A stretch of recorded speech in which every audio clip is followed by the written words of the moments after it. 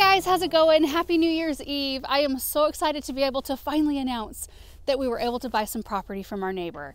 The last pieces of property that attaches to what we currently have. And we've been working on this deal for a really long time and I've been wanting to talk about it for so long. We've been dropping like subtle hints over the last few weeks, which we normally don't do that. Maybe but it was like bubbling. So subtle. yeah, the excitement was just kind of like bubbling out of me. Uh, we've been talking with our neighbor about possibly doing this for years now, uh, but we didn't come to an actual agreement until this summer. In fact, Aaron shook hands with Salvador, our neighbor, when Greg was here installing the pond. That was how long this act- the the deal actually took to go through. And the reason why it took so long is that we had to get approval from the county because we were redrawing property lines and so on and so forth. So we had to go through that whole rigmarole and I finally got it all done. We signed today actually. So uh, and i'm thankful that we finally signed because the fence that you just watched go in that actually went in before the deal had gone through 100% we knew that uh, we were in the clear by the time they started this project. But anyway we're going to walk through the entire thing just do a little tour here. Uh, we had you know new fence installed some of our old fence taken out to make more sense of how everything's laid out. Um, so the pieces of property, there's two acres back here, which if you look this way, you can see our barn, just kind of a quick perspective. In fact, maybe let's take an overhead look. Can we do that? Mm-hmm. Take an overhead look uh, just to see how these pieces attach. So we have our initial property that we purchased, and then the next one was the south garden, and then the dirt lands, and then we were able to do four acres in two different pieces. So about two acres in front of the Persephone garden that also attaches to the dirt lands, and the two acres right back here. So hopefully that's helpful to see how it all goes together. And that brings our total acreage to just right about 12 acres, right? And that's it. I mean, that's the last pieces of land actually attached to ours. I mean, there's there's other land like if we kept going, but nothing's for sale and I don't feel like we need to at this point. like we kind of uh, hedged in ourselves here, and this is going to give myself, the kids, and Aaron so many fun opportunities. So I wanted to start back here because this is probably the most exciting part to me. They put this barn in like three, four years ago, I think, and they had some horses out here. The kids just loved watching them. I loved watching them, and it's kind of a bucket list item for me. I don't think it's going to probably happen in 2024. Who knows? Um, it might be 2025. We've got to work on the infrastructure, electrical, water, getting pasture fences, uh, you know, put up. All of that has to happen before we go ahead with, uh, you know, putting animals out here. But it's just exciting to think about. So this barn here, let's just go in, take a look. It's broken up into quarters. So two of these stalls have outdoor runs. I don't, I don't know the proper terms for all of that. I have so much to learn, uh, but we can walk through one of these and come right through here. I think that the in oh I'm sorry. No, you got it? Yeah. okay. I think the interior is about 15 feet this way and close to that this way. And the outside if you come on through here is also about 15 by 15 and I just like the idea if you know we're having really crappy weather and we need to put the horses in their stalls they could still like they still have the ability to go in and out and they have plenty of room. The other one though so there's the two here this one and that one the third stall does not have an outdoor run, but there's room outside where we can put one in if we decide to. And so that's this one right here. They had, I think they had three horses. There was a, a foal, one of them had a baby, and then there was two adult horses. And then this area right here for tack and feed and so on and so forth.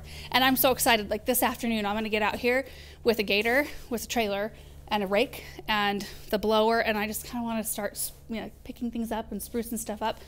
Oh, so excited! There's Russell, which I'm sure he's spent quite a bit of time over here already. Let me show you where the property line is. If you come around this side, this is where we could put another outdoor run. See, there's plenty of space. It actually goes all the way down this hill to the fence. It's just a like a hardware cloth sort of fence. Can you see that? Mm-hmm. Okay. Uh, it's pretty sloped. I walked down it earlier today, but it goes all the way. If you follow the white fence, it just goes down the hill and then it goes straight across to just beyond where that little hut is. Which there's some kind of a pump down there, Aaron. We got to figure out. I know there's another well up here for this piece. I don't know what's going on with that little hut area. Well, you know, I think that there there might be an irrigation ditch down there. oh, And so it's was. possible that at one point they were pumping water up Oh, here. Oh, sure. In fact, I know that there's like water rights that are attached to the property. Uh-huh. I have no idea. We have to figure all that Yeah, out. that's why I, I say like you know one day we'll have some animals out here, but I, I don't want to put the cart before the horse. I want to make sure that we have everything lined out and um, that everything's ready in that way. I think right here would be such a fun space to toss some wildflower seeds out on this hill, like a dryland mix. I think that would be awesome. And then right around here, I think we need to build this up a little bit. Maybe not very far, like maybe out to here. Bring in some dirt, have a retaining wall and a fence put in, just in case you want to, you know, animals need to come out the backside. You'll have plenty of space to do that. What's Russell doing?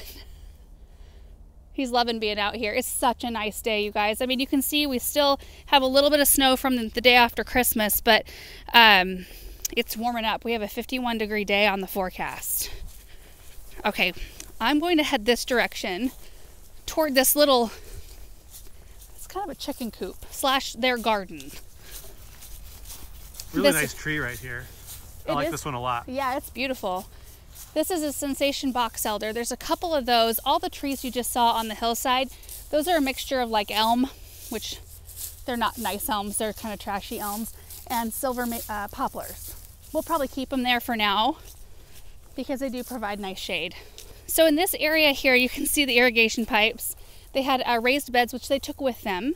Um, so they've kind of cleared this area up. This uh, uh, little hut they had a chicken coop in the back. She'll have the nesting boxes. And then there was a bunch of supplies in here. I think there was a table right in here with a bunch of their gardening things. We're going to probably take this hutch down. In fact, Aaron, you were thinking of possibly looking into a play I think set a playset for would work kids. well over here. Yeah, it really would because it does include the basketball court as well, which, as you know, is directly behind our pond. We are planning on taking those big lights down, but we're going to leave for now the court where it's at because I think it'll be fun. Aaron bought new nets. We're going to put those out maybe today. And you can see we got a, Aaron also bought a couple of new basketballs. Anyway, yeah, they had some chickens in here, but it's pretty solid. Like it doesn't look like it would be very solid, but it kind of is. anyway, we're we'll work on uh, kind of piecing that stuff out. A lot of this is just going to become pasture in this area. There's a few berms. We'll walk by both of. Well, there's maybe three out here. We'll walk by all of them. There's rocks and pavers that we will get rid of. And I don't know. Is this a weeping mulberry? I think it's massive. What do you want to do with that one, Aaron? We could leave it for Leave now. I do want to get rid of the rocks and the and the berm. Yeah. Same with this one. This berm over here actually has a couple of fruit trees. I think they were apples. I don't I really understand Also- why these berms got put in. Me either. Also, this right here I think was for a pergola. Like there's there's little brackets that hold beams. This is coming out because this will be pasture. Yeah, this berm here, it's kind of a horseshoe shape. I don't know, adds a little bit of Character. interest to the topography here. Really pretty view. You can see the slope out there, and on non uh, cloudy days over there, you can see the mountain range. But yeah, we'll find a home, a new home for all these rocks and all the pavers, and then the trees will come out. And then all along this area, we'll have evergreens, uh, mixed border, kind of like we do have on the dirt lands. Uh, and we'll just kind of create that green belt with the pathway through it. But behind the barn here, we're going to, I don't know, construct something to park gators under. I'm, I'm wanting you to jump in. My thought was that we should extend the roof line, not exactly as tall as the barn is, but extend the roof line out Mm-hmm. and maybe go like 20 feet or so, kind of like a pole barn on the side or the back side of the barn. Yeah. And then we'd have cover and we could put, you know, gators, tractor, things like and that. kind of just organize the stuff. We've got irrigation supplies back there. So are you thinking like the, the next pitch would be below the window? Um, maybe right about the window. So eliminate the window. Well, you're not going to get a whole lot of light through the window anyway. Yeah, maybe. yeah, so something like that we'll figure out for the back of the barn area so that we can tidy that up. Uh, and then, you know, the evergreens will start right behind the greenhouse. Uh, right now, we've got all of the plants we're overwintering sitting back there. Uh, we've also got a bunch of pavers. Come this way. Also, there's a well. Oh, yeah, right there where the white pipe is. The well. Um, our neighbor left a few things. There's some fencing supplies and a couple of other things that we'll grab and, and do something with. Uh, but there, this is where the sheds were, right back here. But yeah, there's quite a bit of space back here. I do think that we're going to have to have that one blue spruce moved, which is perfect because we'll have it.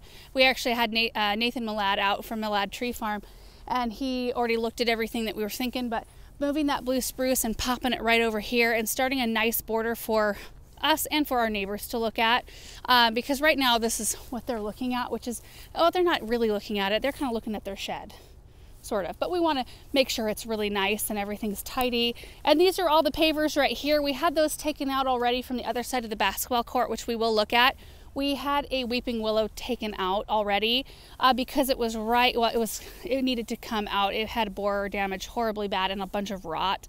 Um, and anyway it was right in the way of where the fence needed to go anyway. So we had the retaining wall taken out right here. So these will all go to a new home and we just give them away to whoever like first take first come first serve sort of situation and then had that willow taken out before the fence could go in. But anyway, the blue spruce will need to come out because we will create a lane right here that will come off of our driveway over there. Uh, and that's one of the reasons why we didn't do a thing with this space last year after the pond was done. We just left it alone because we knew that it was possible you know, we didn't know where the lane was going to go or how we, we were going to connect the two properties. So I think that would make the most amount of sense to come right through here. This birch is going to need to move as well. Yeah, we can move that birch as well, and it can move to somewhat same area. Uh, that will be a difficult one to move. There's water right under. We'll probably break a bunch of pipes and have to fix them. It's kind of our our mo around here. But anyway, uh, these fence rails and fence posts were just taken out today. So there was a three rail white fence right here. So we're gonna come through and we'll take out the rest of these boards. Um, we'll be able to connect everything. And then the dream stream that comes off of the pond might even come back through this area. I'm not sure yet. Uh, it's just so fun. All of the new possibilities, just, oh. And the kids have just been loving the idea of coming out here uh, to play. I am excited to take this out you can hook onto that today. Pop it out. It's a crimson something maple and it struggles every year. It's like the bark is just chipping, coming off of it. It's not happy here. And then, like I mentioned before, the light posts will come out. So we'll still be able to see the backboard from the pond area. But Aaron, you were thinking of 12, 15 foot. Probably 12. 12 foot black chain link fence around the entire court with a few gates, but then we'll plant like a Boston ivy or a Virginia creeper, Virginia maybe? creeper, which is not invasive here. Um, it's just a fast growing, beautiful vine. I know a lot of people will be like, don't do that. Um, but we'll plant that on the, the chain link fence so that it kind of masks this whole area. And we figured, we don't even know if these work. I mean, they might. I think I've seen them on once since we moved in. They don't have bulbs in them, I don't think. Well, but I mean, I, bulbs aren't exactly expensive. No. I, the thing is, though, we decided that during the months where you're actually out here wanting to play, when it's warm enough, it gets dark so late that we don't want to be out here bouncing basketballs that late at night when we'd actually use these lights for the sake of our neighbors. We don't want to create that kind of noise. So we don't think that the lights are actually that necessary to be out here at this point. Uh, and it'll clean up the view a little bit from our current side. So anyway, over here is where the willow came out. Oh, there is a little bit of a chain link fence right there. I didn't realize that a short one. So Aaron, you might need to remind me, but wasn't it like right here? Yep. Um, so anyway, that came out. This is where the stump was ground out, and then the new fence here. So anyway, we we will probably be removing the rocks. Um, there's some. I don't I don't know what kind of roses these are. I think they're these pink. are the uh, yeah are these are the ones wilds? that are yeah nearly wild. Yeah. Yep. You love those. Maybe we'll I really like them, but I don't like them in this spot. Oh really? Well, we can leave them for. Well, I guess they won't have water, will they?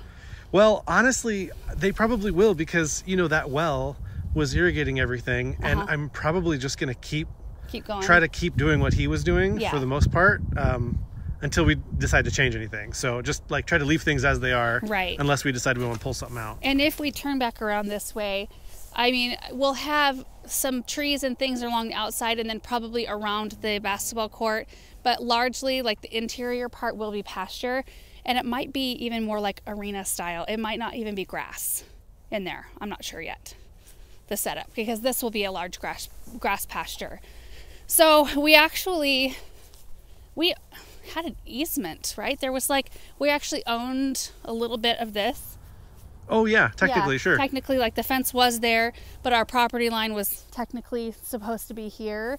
Um, and then we ended up going out this far so that we could encompass this tree so that we could be responsible for the care of this. Um, and also give us just a path to get yeah. to and from. And we did put a gate in though, so we can get to and from because we're not sure what they've moved out. We're not sure if they're going to sell um, or you know what the deal is. Uh, so we just want to make sure that there's a way in and out between the two of us. Um, I think that's nice to have right there. But this kind of connects the two pieces of property here. There was a three rail fence here as well. And the thing I love about this new fence right here, which we still need to clean it.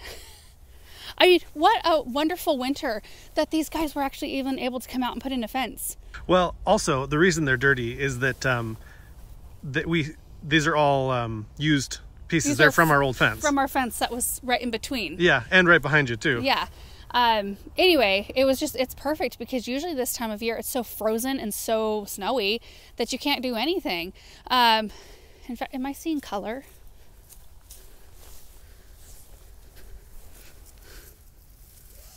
What? This is um, two gram, right? Can you believe that?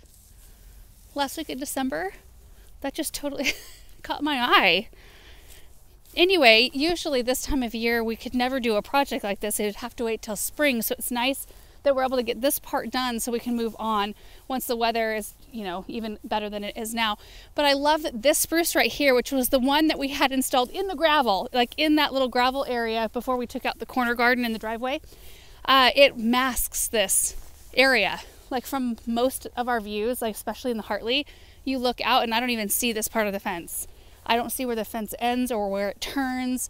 It's kind of, it's perfectly placed. So the idea is to uh, plant large evergreens all along here as well as the back, uh, kind of a continuation from the back of the dirt lands. There's still some fence posts over there. We'll probably end up over there that they're going to pull today.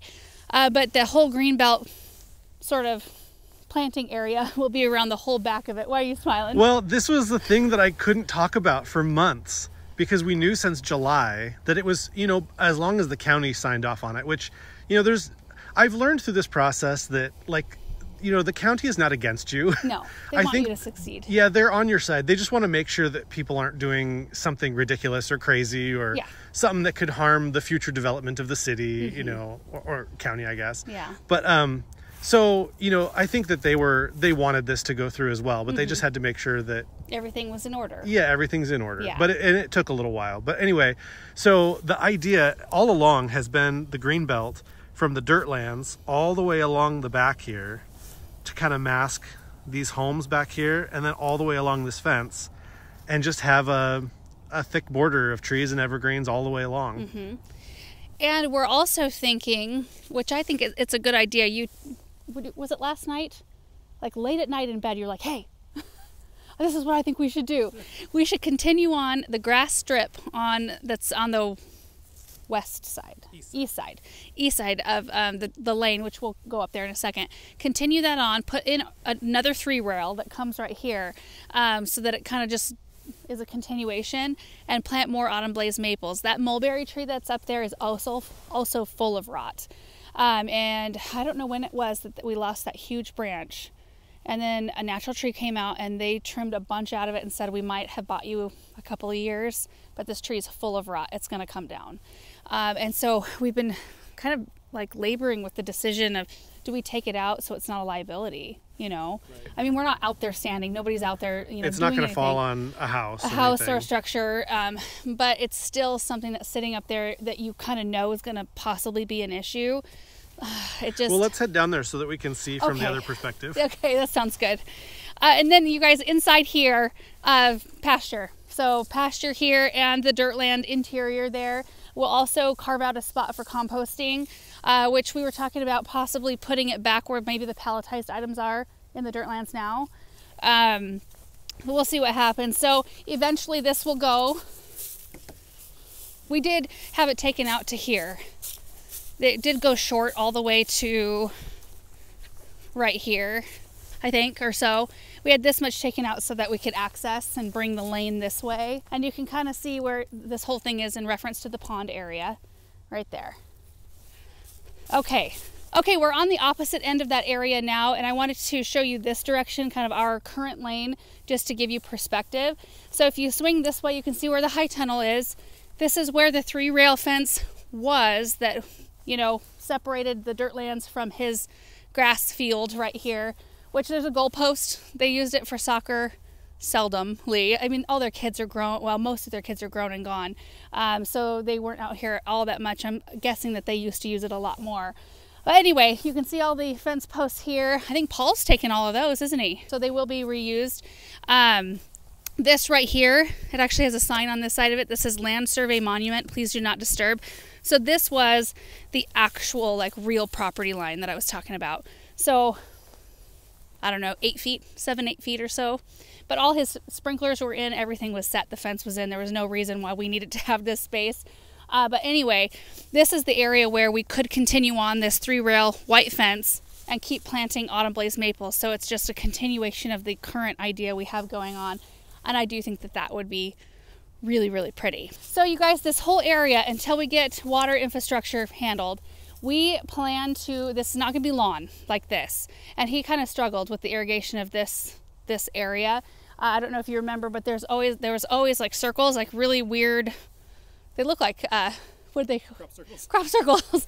Yeah but what aaron plans to do right is to just till the whole thing and we're going to scatter some dryland pasture mix out here let the spring rain bring it up uh, and same with the dirt lands here and that's how we will be handling it a very low water sort of using sort of situation let's walk this way i'm going to miss the green though i mean for a while it's yeah, just to in the summer. It'll look really nice in the spring. i it's going to be hard for me to watch this be tilled up Yeah. but I know it's good. It'll be great. So we're gonna have to take this out right here. Wonder how deep those are. Yeah, I wonder. It looks like this is where they stopped. I think they went to go have some lunch. We timed it perfectly. Right here was where the uh, pole was.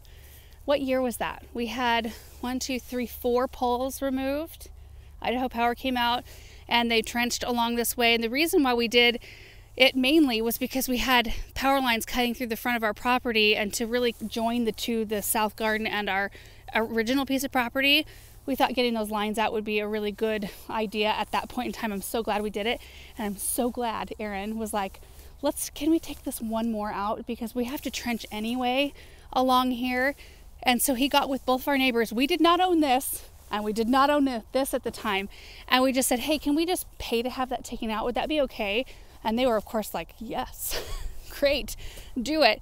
And so, you know, sometimes it's worth it to do that, to go the extra mile, because, you know, if we wouldn't have done that, we would have had a great big pole here, which would have been fine. We could have amassed it, or we could have, at this point, had it buried as well. But it's so much less expensive to have it all done at the same time than to have them come back out and do it again, even especially just for one pole. At the time, they were doing so many that I think it was just like, yeah, sure, we could just pop that out real quick. Carrying on, you can see the oak tree that we planted this fall, and then the back of um, the property lines. I don't think, I think the back of this property line is not as, well, clearly not as straight as the back of this one. This one kind of goes down a hill, and then you can see the neighbor's fences, and that's where it ends. And our property line for this one is, it kind of like starts here and it kind of weaves through all of the the brambles back here and the trees and such. Ow. Gosh, that's like a rose. Yeah, What is that? it's like a wild rose. Wow. God. Yeah, there's rose hips right here.